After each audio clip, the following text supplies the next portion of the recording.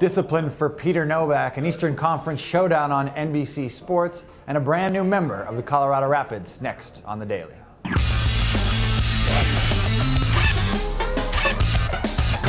Hey everybody, happy Friday and welcome to another edition of The Daily. Here with Andrew Wiebe, I'm Nick Firchau looking at the biggest headlines going into the MLS weekend and we're going to start with some discipline for Peter Nowak, the manager of the Philadelphia Union. Found out on Thursday he's been fined an additional game as well as $5,000 for his actions in the Chivas USA game last week. That means he's going to miss this weekend's matchup against San Jose and a matchup next weekend. Let's talk about on the field for Philadelphia Going into this one against San Jose without Peter Nowak, what do we expect? Honestly, I don't think it's going to affect them that much much, Nick. You look at what they've done so far, especially in the last three games, and they've seemed to right the ship, especially defensively, and that's really what had to change after Zach McMath had such a rough start. He has to be gaining in confidence. With a home game, I'm sure they're very happy about that. On the flip side, though, San Jose looking like they're going to challenge Sporting Kansas City for that top spot in MLS here in the early going.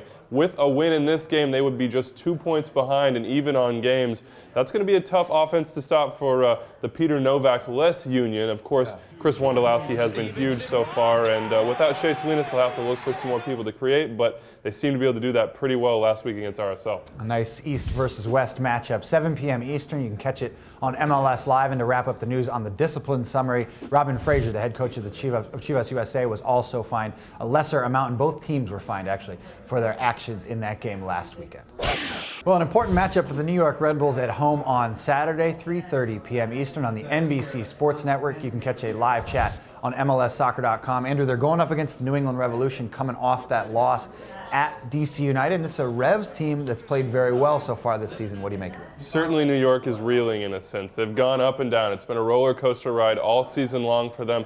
The one thing that they can look at with a positive note is they have been good at home. They're unbeaten there, and they've They've put a lot of goals in the back of the net, which seems to be their MO when they win games. Of course, you said it, that defense really been struggling. On the other side, New England gets Shalrie Joseph back, and they've got to be very happy about that going up against a New York team that has some issues in the midfield, hasn't exactly got their first team together right now. So many injuries decimating them.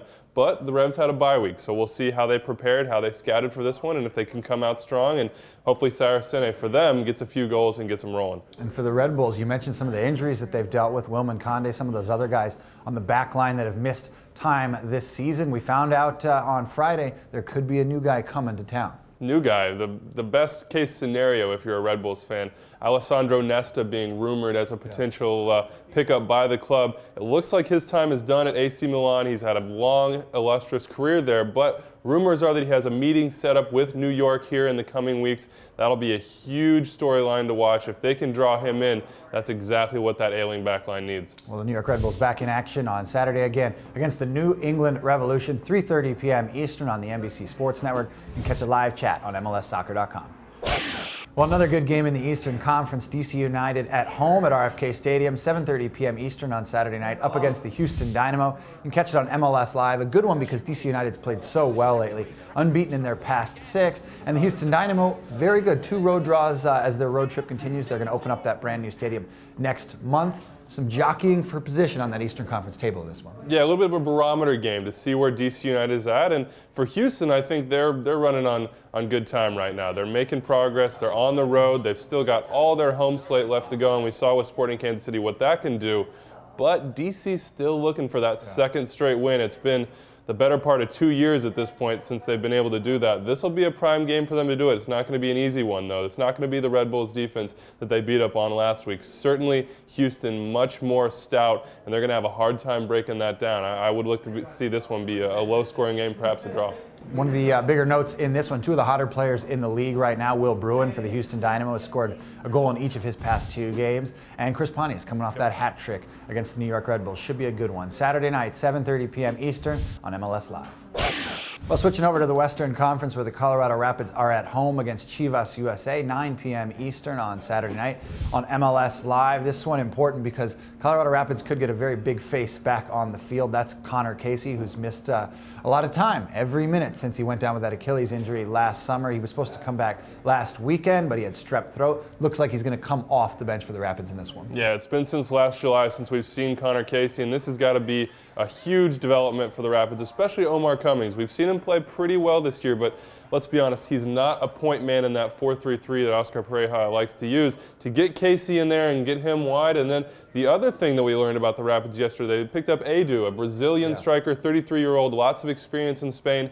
The big note on him, though, he hasn't played in a while, hasn't played a ton since the beginning of 2009. He paid his way to come to Colorado in preseason, impressed enough to get this deal. We'll see how much of an impact he can make.